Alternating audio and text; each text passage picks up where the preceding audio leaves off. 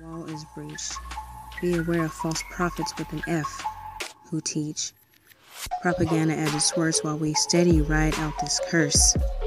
Yet through the feast eternity we rehearse.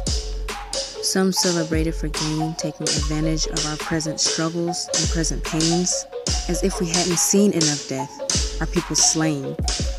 Wall breached, Yashraal. Don't you see the pale faces standing in a false unity, laughing at our actions, memes, and posts that breed disunity? A plus for them, a loss for us.